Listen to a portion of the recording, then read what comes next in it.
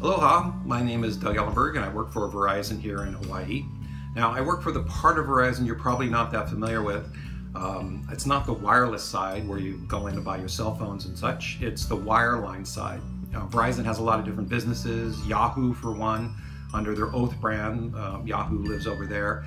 On the wireline side, we do kind of business to business stuff, and that means we work with businesses to interconnect their other businesses together. So if there's an office in Hawaii that needs to communicate with their office in Los Angeles, we can provide the circuits so that the data can transfer from their laptops to their computers or mainframes or whatever they have in California, uh, the client server stuff.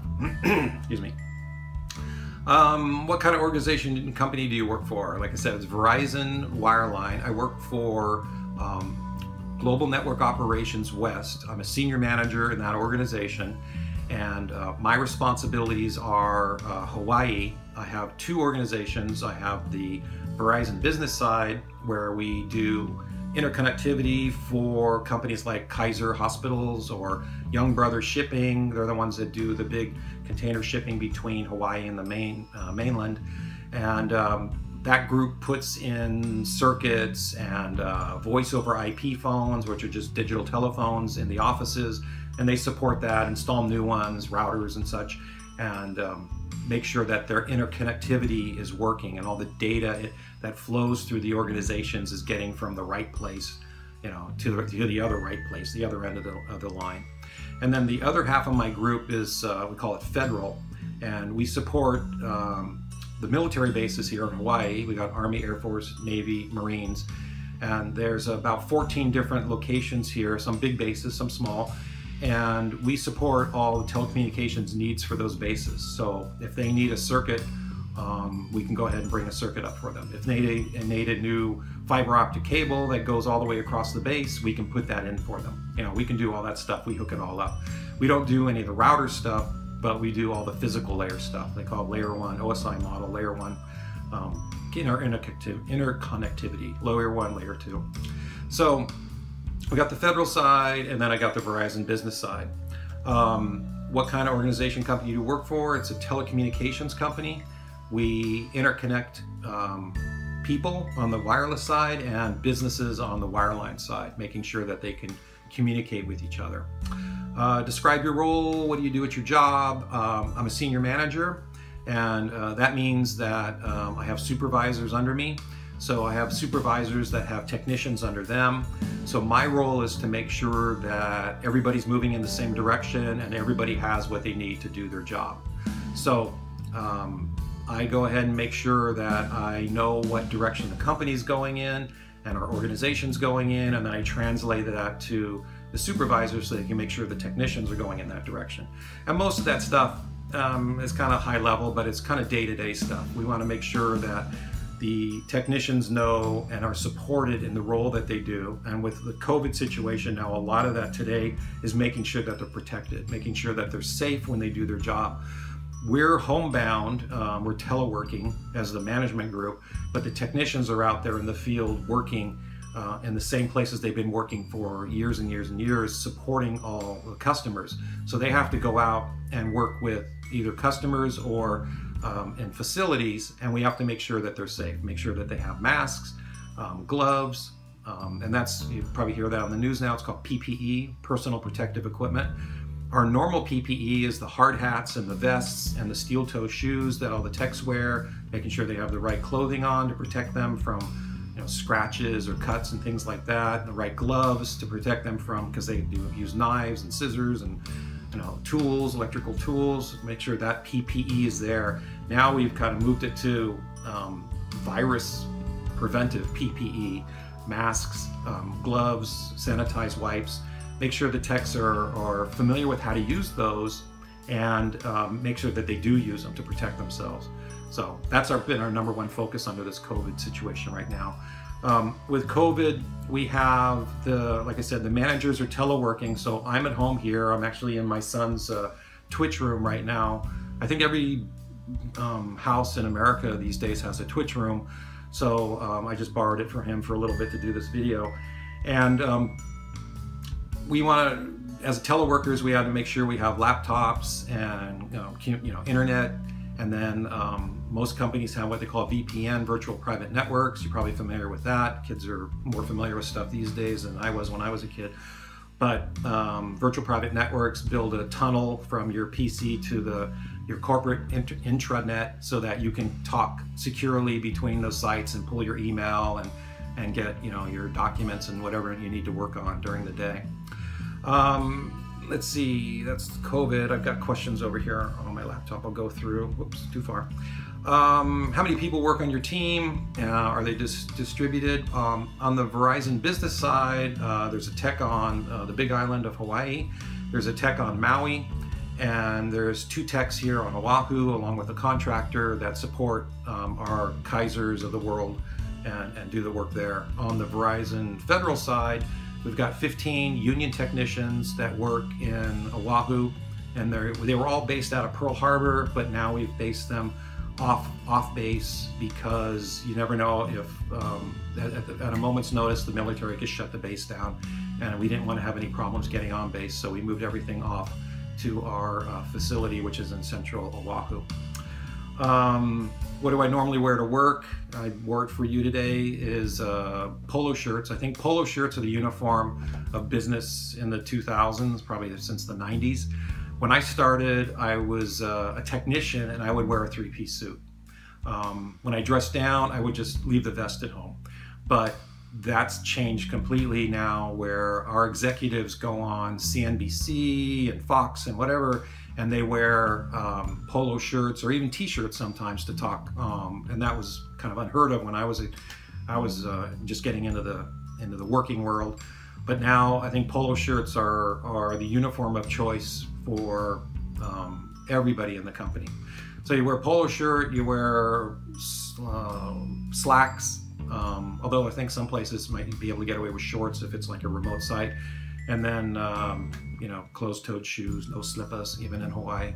Um, you can actually wear aloha shirts here too. That's acceptable. Um, what's a typical workday look like? For me, a typical workday pre-COVID was fight the commute, get into the office, hook up my laptop and start looking at email um, until it was time for the technicians to, to, to, roll out. I would get in before they came in and then uh, make sure they all go in the right direction, you know, talk to the supervisors, make sure, you know, we know what the plan is for the day. Uh, I usually don't have to get in the day-to-day stuff, but occasionally I will. And then go back to email, and I spend probably 50% of my day on email. Um, and that's responding to issues or, or um, you know, doing reports or providing updates or making sure that any complaints come in are taken care of. We don't get a lot of those, thankfully. Um, or sending up information inquiries about, hey, you know, how many trucks do you have in your fleet and stuff like that. Um, uh, with COVID now, it's teleworking from home, doing all that. But the one thing that's really changed is you can't go out in the field, you can't work with the techs, you have to stay at home. Um, if you go out in Hawaii here, at least you have to wear a mask and um, and conference calls. Half my day is on conference calls, talking about, and I'm not kidding. Talk. Most of them are about COVID, and every day, literally, and I'm using that word correctly, literally every day, what we do with COVID changes. It gets moved up a notch. Three days ago, we weren't supposed to use face masks. Yesterday, we were supposed to use face masks. Today, uh, it's up to the tech, you know. So it it goes, it changes, but every day we're getting updates, and the company is extremely focused on on COVID and safety for the employees and making sure the latest CDC recommendations, you know, are, are distributed to all the managers, and we make sure that everybody's focused on that because safety is extremely important. We want to make sure the techs who are out in the field working with our customers are as protected as they possibly can. They don't want them to come down with anything um, that could be detrimental to their health. Um, salaries. So um, our technicians on the uh, VZB side are probably, um, I think they're they're a little bit different. So they're probably in the 70s and 80s range uh, salaries, and then can go up. On the federal side, they're union technicians, so they're bargained, meaning every three years they bargain for what you know kind of salaries and benefits and stuff like they have. Um, I think they they're somewhere between 25 and 30 dollars an hour, and then there's a, a, a scale that goes up, and it depends on their skill level. Um, union technicians, if you want to go into the union, they start as an apprentice, and then after you get 10,000 hours or whatever it is, um, you can go to that next level and then you get a bump and then you can go to the next level. I think licensed technicians probably the highest level and then you're at the max. And then um, with non-union, you know, you get performance reviews, you get raises. If you do a good job, you get a little bit more. If you do a bad job, you get a little bit less. With union side, everything is bargain, so it's fixed. It doesn't matter if you're the best or the worst. You're one big happy family, and everybody, you know, gets the same thing. So that's a little bit different if you want to get into that. Uh, executive salary levels, um, supervisors, I wouldn't say these are executive, I, I consider an executive at the director level and above, but uh, if you want to become a supervisor, say you're like a good technician, and usually the, the uh, career path is you're uh, a good technician and you want to get to um, you know have more responsibility and control more of the organization so you want to get into a supervisor position. Um, here supervisors somewhere between 70 and 90 in that area depending on how much experience you have and what your background is.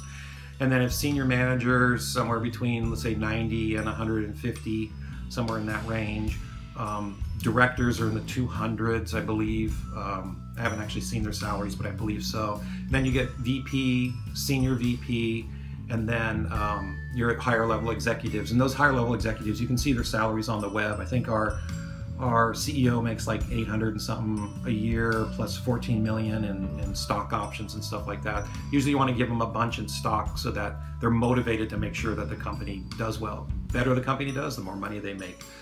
Um, and one thing I, I, would mention is um, I always was kind of in the impression like, oh, geez, I'm not I'm not executive material. I, I can't make those kind of decisions.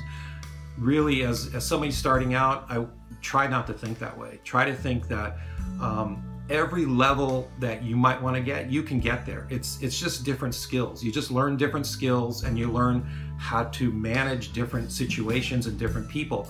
I mean a great finance background is usually a good thing. A law background usually doesn't hurt um, but you know the decisions that they're making you think wow i could never make that decision that's because you you haven't made that decision you know, you're a minor league baseball player and you want to get to the pros. It's like, wow, I can't do what he does. No, you can do what he does. You just have to practice. You know, you want to get in the WNBA and you're in high school, you just have to practice and you have to learn what skills are and gather that knowledge. It's the same thing in business. You can you can hit any level. Don't think you have to get into a particular job because once you get into where you want to go, try to make sure you got a career path going. You know, you know what you need to do. Make plans uh, that you want to get to a certain level, you want to get to that certain job, and what do you need to do to get there? What are your milestones? You're not going to hit all of them. You know, maybe some of them you hit, you can hit faster. Some of them are going to take longer. Some of them you're going to miss completely.